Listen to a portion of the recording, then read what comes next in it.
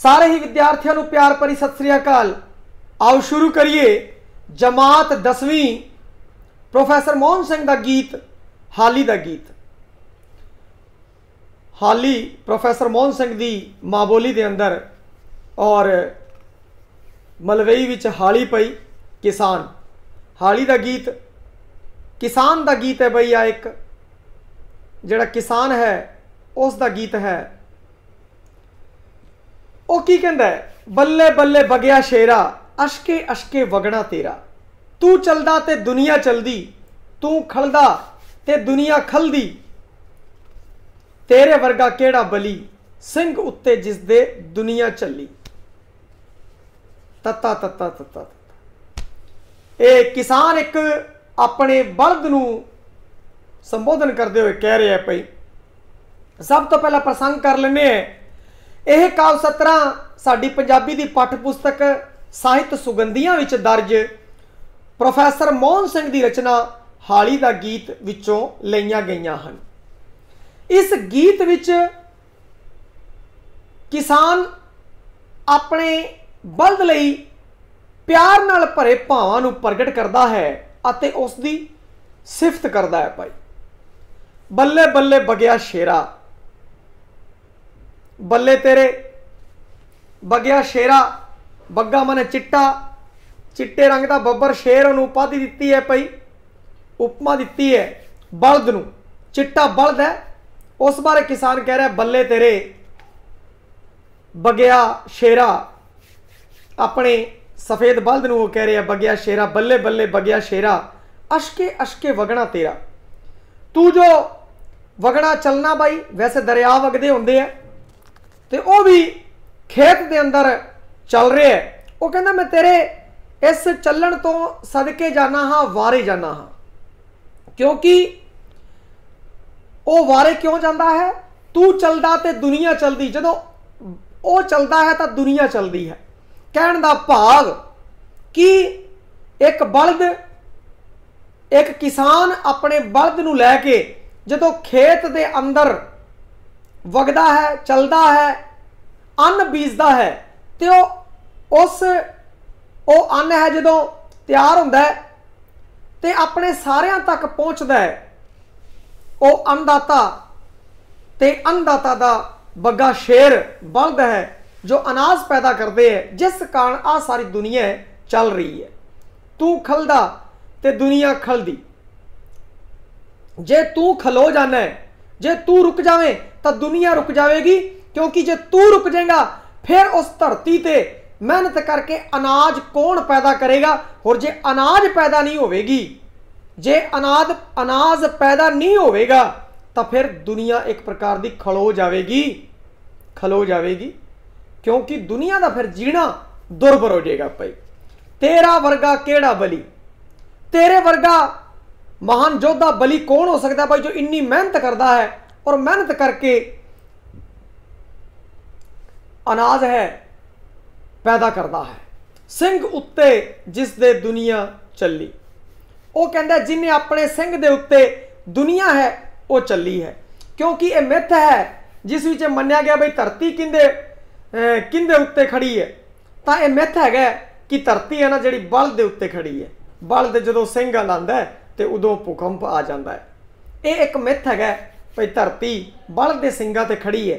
ਤਾਂ ਅਸੀਂ ਮਿੱਥ ਨੂੰ ਪ੍ਰੋਫੈਸਰ ਮੋਹਨ ਸਿੰਘ ਨੇ ਵਰਤੋਂ ਕਰਦੇ ਹੋਏ ਕਹਿੰਦਾ ਹੈ ਕਿ ਤੇਰੇ ਸਿੰਘ ਦੇ ਉੱਤੇ ਆ ਸਾਰੀ ਦੁਨੀਆ ਦਾ ਭਾਰ ਹੈ, ਤੇਰੇ ਸਿੰਘਾਂ ਦੇ ਉੱਤੇ ਹੈ। ਔਰ ਇਸੇ ਨਾਲ ਆ ਵੀ ਅਰਥ ਸਪਸ਼ਟ ਹੋ ਜਾਂਦਾ ਹੈ ਕਿ ਤੇਰੇ ਸਿੰਘਾਂ ਦੇ ਉੱਤੇ ਦੁਨੀਆ ਦਾ ਭਾਰ ਹੈ, ਤੇਰੇ ਉੱਤੇ ਦੁਨੀਆ ਦਾ ਭਾਰ ਹੈ, ਕਿਉਂਕਿ ਜੇ ਤੂੰ ਖੇਤ 'ਚ ਮਿਹਨਤ ਕਰੇਗਾ, ਚੱਲੇਗਾ, ਬੀਜ ਬੋਏਗਾ ਕਿਸਾਨ ਦੇ ਫਸਲ ਹੋਵੇਗੀ, ਫਿਰ ਦੁਨੀਆ ਚੱਲੇਗੀ। ਇੱਕ ਪ੍ਰਕਾਰ ਦਾ ਜਿਹੜਾ ਭਾਰ ਹੈ, ਉਹ ਵੀ ਬਲਦ ਦੇ ਉੱਤੇ ਹੈ। ਕਿਉਂਕਿ ਮਿਹਨਤ ਕਿਸਾਨ ਤੇ ਬਲਦ ਨੇ ਕਰਨੀ ਹੈ। ਔਰ ਫਿਰ ਉਸ ਤੋਂ ਬਾਅਦ ਜਿਹੜਾ ਅਨਾਜ ਹੈ, ਉਹ ਪੈਦਾ ਹੋਵੇਗਾ। ਸਾਰੀ ਦੁਨੀਆ ਦੇ ਅੰਦਰ ਵਰਤੇਗਾ ਤੇ ਸਾਰੀ ਇਹ ਸੰਸਾਰ ਚੱਕਰ ਚੱਲੇਗਾ। ਤੱਤਾ ਤੱਤਾ ਤੱਤਾ, ਉਹ ਤੱਤਾ ਤੱਤਾ ਕਹਿ ਕੇ ਸੰਬੋਧਨ, ਜਿਵੇਂ ਬਲਦ ਨੂੰ ਕੀ ਕਹਿੰਦੇ ਆ ਕਿ ਸੰਬੋਧਨ ਕਰਦੇ ਆ, ਤਾਂ ਉਦੋਂ ਇਦਾਂ ਹੀ ਕਹਿੰਦੇ ਨੇ। ਹੁਣ ਜਿਹੜਾ ਆਪਾਂ ਪਹਿਲਾ ਇਹ ਬੰਦ ਪੜਿਆ ਇੱਥੇ ਆਪਾਂ ਨੂੰ ਇਹ ਗੱਲ ਸਮਝ ਆ ਗਈ। ਇਸ ਦਾ ਇੱਕ ਵਾਰ ਸੰਖੇਪ ਸਾਰ ਹੋਰ ਲੈ ਲੈਣੇ ਆ ਕਿ ਪ੍ਰੋਫੈਸਰ ਮੋਹਨ ਸਿੰਘ ਕਿਸਾਨ ਦੇ ਗੀਤ ਦੇ ਵਿੱਚ ਜਿਹੜਾ ਪਹਿਲਾ ਬੰਦ ਲਿਖਿਆ ਉਸ ਵਿੱਚ ਉਹਨਾਂ ਨੇ ਲਿਖਿਆ ਕਿ ਬੱਲੇ ਬੱਲੇ ਹੱਲਾਸ਼ੇਰੀ ਦਿੰਦੇ ਹੋਏ ਆਪਣੇ ਬਲਦ ਨੂੰ ਕਿਸਾਨ ਹੈ ਜਿਹੜਾ, ਬਗੇ ਬਗਿਆ ਸ਼ੇਰਾ, ਬਈ ਤੇਰੇ ਤੋਂ ਮੈਂ, ਤੇਰੇ ਚੱਲਣ ਤੋਂ ਮੈਂ ਸਦਕੇ ਜਾਵਾਂ। ਤੂੰ ਜਦੋਂ ਚੱਲਦਾ ਹੈ ਤਾਂ ਦੁਨੀਆ ਚੱਲਦੀ ਹੈ। ਬਈ ਤੂੰ ਜਦੋਂ ਖੇਤ ਦੇ ਅੰਦਰ ਮਿਹਨਤ ਕਰਦਾ ਹੈਗਾ ਤਾਂ ਉਸ ਨਾਲ ਅਨਾਜ ਪੈਦਾ ਹੁੰਦਾ ਹੈ, ਜਿਸ ਕਾਰਨ ਦੁਨੀਆ ਚੱਲ ਰਹੀ ਹੈ। ਔਰ ਜੇ ਤੂੰ ਕਿਧਰ ਖਲੋ ਜਾਵੇਂ, ਕਿਸਾਨ ਤੇ ਉਹ ਬਲਦ ਖਲੋ ਜਾਵੇ, ਅਨਾਜ ਪੈਦਾ ਨਹੀਂ ਹੋਵੇਗਾ, ਤਾਂ ਦੁਨੀਆ ਦੇ ਅੰਦਰ ਜੀਣਾ ਔਖਾ ਹੋ ਜਾਵੇਗਾ। ਤੇਰਾ ਵਰਗਾ ਇਹ ਜਾ ਜੋਰ ਵਾਲਾ ਬਲੀ ਕੌਣ ਹੈ ਭਾਈ ਜਿਸ ਦੇ ਸਿੰਘ ਦੇ ਉੱਤੇ ਦੁਨੀਆ ਖਲੋਤੀ ਹੈ? ਤੇ ਉਹਨਾਂ ਦੇ ਸਿਰ ਦੇ ਉੱਤੇ ਭਾਰੀ ਹੈ, ਉਹ ਮਿਹਨਤ ਕਰਦੇ ਹੈ। ਤਾਂ ਜਦੋਂ ਬਲਦ ਔਰ ਕਿਸਾਨ ਮਿਹਨਤ ਕਰਦਾ ਹੈ, ਤਾਂ ਉਹ ਮਿਹਨਤ ਰੰਗ ਲੈਂਦੀ ਹੈ ਭਾਈ ਅਨਾਜ ਪੈਦਾ ਹੁੰਦਾ, ਆਪਾਂ ਸਾਰੇ ਖਾਂਦੇ ਆ ਅੱਗੇ ਹੈ ਜੀ, ਝੁੱਲ ਤੇਰੀ ਨੂੰ ਲੱਗੇ ਛੱਬੇ। ਕਹਿੰਦਾ ਤੇਰੀ ਝੁੱਲ ਨੂੰ ਛੱਬੇ ਲੱਗੇ ਹੋਏ ਆ ਭਾਈ। ਛੱਬੇ ਰੇਸ਼ਮ ਤੇ ਜਰੀ ਦੇ ਫੁੰਮਣ। ਛੱਬੇ ਦਾ ਧਿਆਨ ਰੱਖਿਓ ਭਾਈ। ਰੇਸ਼ਮ ਤੇ ਜਰੀ ਦੇ ਰੇਸ਼ਮ ਤੇ ਜਰੀ ਦੇ ਫੁੰਮਣ ਰੇਸ਼ਮ ਤੇ ਜਰੀ ਦੇ ਫੁੰਮਣ ਪਈ, ਜਿਹੜੇ ਹੈਗੇ ਆ, ਉਹ ਝੁੱਲ ਹੈ। ਹਾਂਜੀ।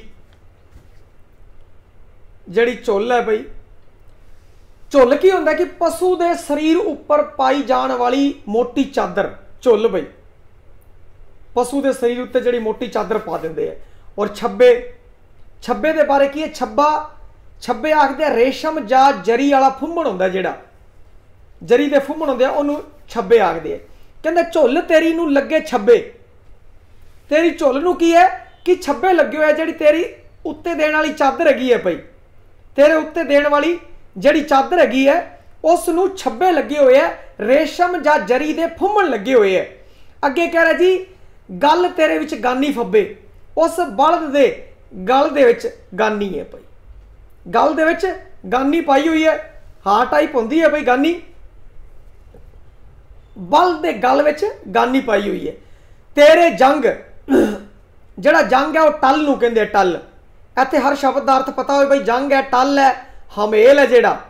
ਹਮੇਲ ਪਹਿਲਾਂ ਬੱਚਿਆਂ ਦੇ ਵੀ ਪਾਇਆ ਕਰਦੇ ਸੀਗੇ। ਛੋਟੇ ਬੱਚੇ ਦੇ ਬੱਚੇ ਦੇ ਹਜੇ ਵੀ ਲੋਕ ਪਾਉਂਦੇ ਆ, ਰੁਪਈਏ ਵਿੱਚ ਬੋਰਾ ਕੱਢ ਕੇ।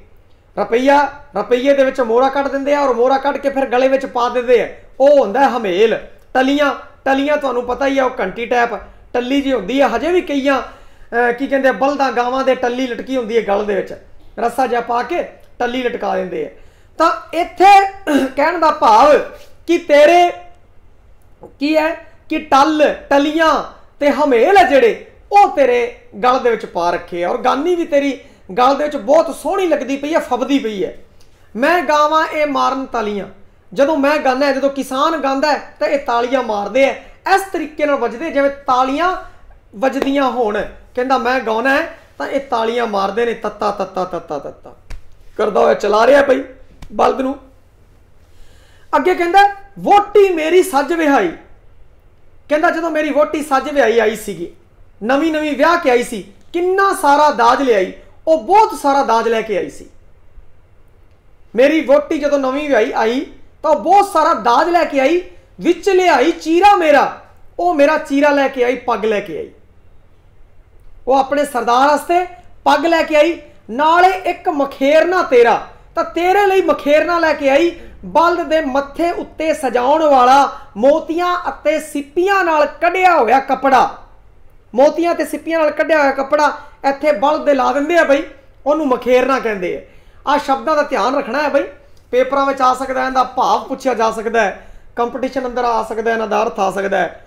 ਤੇ 12ਵੀਂ ਜਮਾ 10ਵੀਂ ਜਮਾਤ ਦੇ ਅੰਦਰ ਇਸ 70 ਦਾ ਭਾਵ ਪੁੱਛਿਆ ਜਾ ਸਕਦਾ, ਤਾਂ ਉੱਥੇ ਜਦੋਂ ਆਪਾਂ ਨੂੰ ਅਰਥ ਪਤਾ ਹੋਵੇਗਾ, ਤਾਂ ਹੀ ਆਪਾਂ ਭਾਵ ਹੈ ਉਹ ਲਿਖ ਸਕਾਂਗੇ। ਤੇ ਦੂਜੇ ਵਿੱਚ ਇਹਨਾਂ ਦੱਸਿਆ ਭਾਈ ਮੇਰੀ ਬੋਟੀ ਜਦੋਂ ਆਈ ਸੀ, ਬਹੁਤ ਸਾਰਾ ਦਾਜ ਲੈ ਕੇ ਆਈ, ਮੇਰੇ ਵਾਸਤੇ ਉਹ ਪੱਗ ਲੈ ਕੇ ਆਈ, ਔਰ ਤੇਰੇ ਵਾਸਤੇ ਮਖੇਰਨਾ ਲੈ ਕੇ ਆਈ। ਮੱਥੇ ਤੇ ਸਜਾਉਣ ਵਾਲਾ, ਮੋਤੀਆਂ ਤੇ ਸਿੱਪੀਆਂ ਦਾ ਨਾਲ ਕੱਢਿਆ ਹੋਇਆ ਕੱਪੜਾ ਤੇਰੇ ਵਾਸਤੇ ਲੈ ਕੇ ਆਈ, ਭਈ ਆਪਣੇ ਬਲਦ ਨੂੰ ਸਜਾਵਾਂਗਾ। ਅੱਗੇ ਕੀ ਕਹਿੰਦੇ ਆ ਜੀ? ਅੱਗੇ, ਇਹ ਮਖੇਰਨਾ ਭਾਗਾ ਭਰਿਆ। ਇਹ ਜਿਹੜਾ ਮਖੇਰਨਾ ਬੜੇ ਭਾਗਾਂ ਵਾਲਾ ਹੈ ਭਾਈ। ਇਹ ਜਿਹੜਾ ਮਖੇਰਨਾ ਹੈ, ਬਹੁਤ ਭਾਗਾਂ ਵਾਲਾ ਹੈ। ਮੇਰੀ ਸੱਜ ਵਿਹਾਈ ਜੜਿਆ, ਇਹ ਮੇਰੀ ਸੱਜ ਵਿਆਹੀ ਨੇ ਆਪਣੇ ਹੱਥੋਂ ਇਸ ਨੂੰ ਬਣਾਇਆ ਹੈ, ਜੜਿਆ ਹੈ। ਫੁੰਮਣਾ ਅਤੇ ਜੰਜੀਰੀ ਨਾਲ, ਘੋਗਿਆਂ ਤੇ ਤਸਵੀਰਾਂ ਨਾਲ। ਕਹਿੰਦੀ, ਇਹ ਮਖੇਰਨਾ ਭਾਗਾ ਭਰਿਆ, ਇਹ ਮਖੇਰਨਾ ਬਹੁਤ ਭਾਗਾਂ ਵਾਲਾ ਹੈ, ਕਿਉਂਕਿ ਮੇਰੀ ਸੱਜ ਵਿਆਹੀ, ਮੇਰੀ ਜਿਹੜੀ ਨਵੀਂ ਵਿਆਹੀ ਵਿਆਹੀ ਵੋਟੀ ਸੀਗੀ ਉਸ ਨੇ ਫੁੰਮਣ ਲਾ ਕੇ, ਜੰਜੀਰੀਆਂ ਲਾ ਕੇ, ਘੋਗੇ ਸਿੱਪੀਆਂ ਲਾ ਕੇ, ਤਸਵੀਰਾਂ ਲਾ ਕੇ, ਇਹਨੂੰ ਬਹੁਤ ਸੋਹਣਾ ਬਣਾਇਆ ਹੋਇਆ ਹੈ। ਮਖੇਰਨਾ ਮਖੇਰਨਾ ਜਿਹੜਾ ਚੰਗਾ ਕੱਪੜੇ ਕੱਪੜੇ ਉੱਤੇ ਫੁੰਮਣ ਲਾਤੇ, ਜੰਜੀਰੀਆਂ ਲਾਤੀਆਂ, ਘੋਗੀਆਂ ਲਾਤੀਆਂ, ਤਸਵੀਰਾਂ ਲਾਤੀਆਂ ਔਰ ਬੜੀਆ ਸੋਹਣਾ ਜਿਹਾ ਬਣਾਤਾ। ਬਈ ਬਲਦ ਦੇ ਆਪਾਂ ਲਾਇਆ ਕਰਾਂਗੇ। ਤੱਤਾ ਤੱਤਾ ਤੱਤਾ ਤੱਤਾ ਬਲਦ ਨੂੰ ਤੋੜਦੇ ਹੋਏ ਸੰਬੋਧਨ ਕਰ ਰਿਹਾ ਮੱਥੇ ਤੇਰੇ ਮਖੇਰਨਾ ਪਾ ਕੇ, ਕਹਿੰਦਾ ਮੈਂ ਤੇਰੇ ਮੱਥੇ ਦੇ ਉੱਤੇ ਮਖੇਰਨਾ ਸਜਾ ਦਾਂਗਾ। ਨਾਲ ਝਾਂਜਰਾ ਪੈਰ ਸਜਾ ਕੇ, ਤੇਰੇ ਪੈਰਾਂ ਦੇ ਅੰਦਰ ਝਾਂਜਰਾ ਸਜਾਵਾਂਗੇ। ਮੱਥ, ਬਲਦ ਦੇ। ਹਾਲੀ ਹੈ ਜਿਹੜਾ ਜਿਹੜਾ ਕਿਸਾਨ ਹੈ, ਉਹ ਬਲਦ ਨੂੰ ਕਹਿ ਰਿਹਾ ਹੈ ਕਿ ਬਲਦਾ, ਬਈ ਤੇਰੇ ਮੱਥੇ ਦੇ ਉੱਤੇ ਮਖੇਰਨਾ ਸਜਾ ਪਾਵਾਂਗੇ।